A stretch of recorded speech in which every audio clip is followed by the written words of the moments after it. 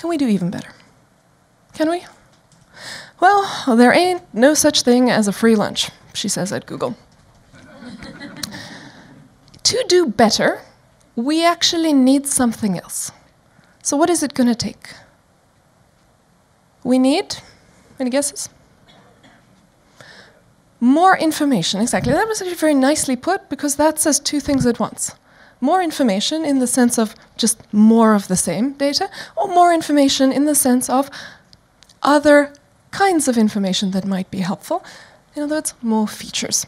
Features in this setting refers to variables, attributes in other settings. So I'm going to be generous and I'm going to give you the fat percentage. How do you feel about that? Is that going to be helpful? All right, so let's see. So this is what we were working with before. This is our form, and we just had to muck about with these two parameters here. And we used an optimization algorithm to set them. And notice, uh, who here has taken a stats course of some kind? Yeah, you probably saw regression. It was an entirely different story in that course, the way that you were going about it. There was all this other stuff about what it means and p-values and t-tests. None of that is relevant here. All we are trying to do is optimize that function to set these two numbers so that the difference between the calories predicted and the actual calories is as good as possible. That's it, that's all there is to it here. Much, much simpler than what the stats course did. So there we go, those are our answers, lovely. Now, it's not going to be a line anymore if we add fat percentage.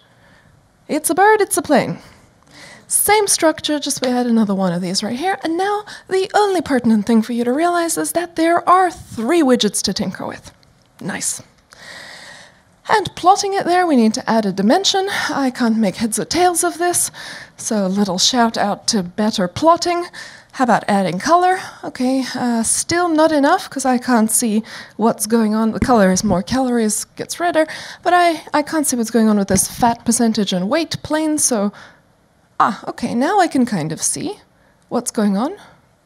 And if you're used to looking at these things, you kind of see the punchline that's coming. But even if you don't see it, let's find out what happens if we run the algorithm. So again, our job is to get those three numbers to be as good as possible. We have our three options. I pick the getting on with it. And so we have this mosquito netting fitted through our data for us. What is it trying to do? Get as close to our points as possible.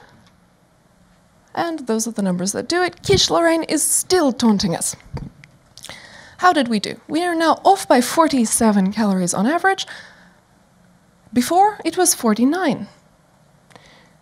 I don't know, I'm not feeling it. I had to double the number of ingredients into my recipe, and all I get for that is this measly tiny improvement? Maybe after all, this isn't such a promising direction to go in. Maybe I would prefer the simpler model, but of course, don't worry about that too much. You can always try both of them in a new dataset and see which one is working better. So how are we doing so far? Using only the mean. There's our underestimate. With simple linear regression, that means one ingredient.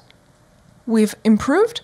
And only a slight improvement with multiple linear regression. That means more than one input into the model.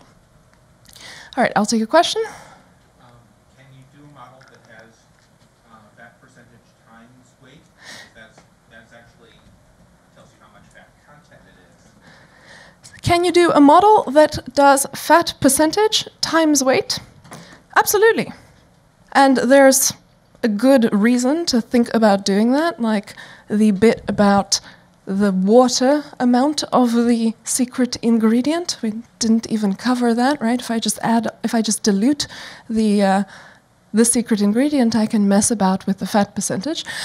The the the reasoning around whether or not you should go ahead and try a model like that is does it take a long time to try it? If no, just do it even if you don't have as solid of a logical argument, try it anyway. You can always try something like that, and yes, it's very, very easy to adjust the method to input something like that. You just make the um, feature by multiplying them first, and in it goes, job done.